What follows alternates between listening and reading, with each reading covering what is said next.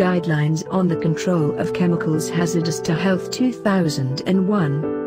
About this guidelines, to explain how to comply with the Occupational Safety and Health Regulations 2000. To control chemical hazardous to health.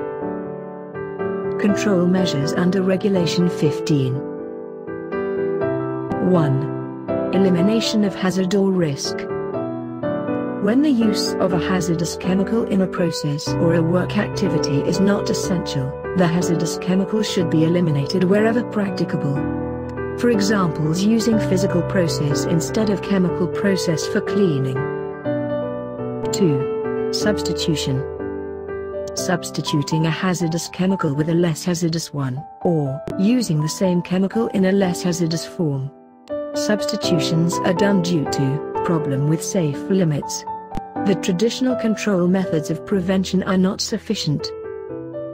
3. Isolation involves removing the sources of hazard exposure from the worker's environment.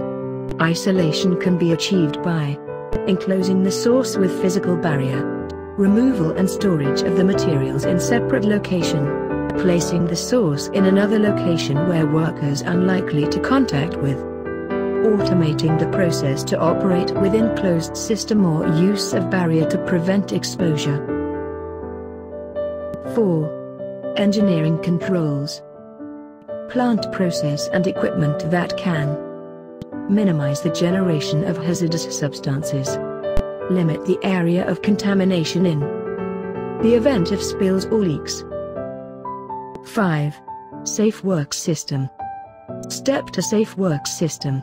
Access the task, identify the hazards, define safe methods, monitor the system, implement the system. 6. Provision of Personal Protective Equipment, PPE. In protecting the worker from a specific chemical, PPE must be worn properly when working involves chemical. 7. Maintenance of effective control. Maintenance is a must on a regularly scheduled basis for potentially hazardous operation. 8. Local Exhaust Ventilation LEV System LEV is used to remove contaminants that are generated at a local source. 9. Control of carcinogens. Prevention or control of exposure to carcinogens. Limitation of quantities of a carcinogen at the place of work.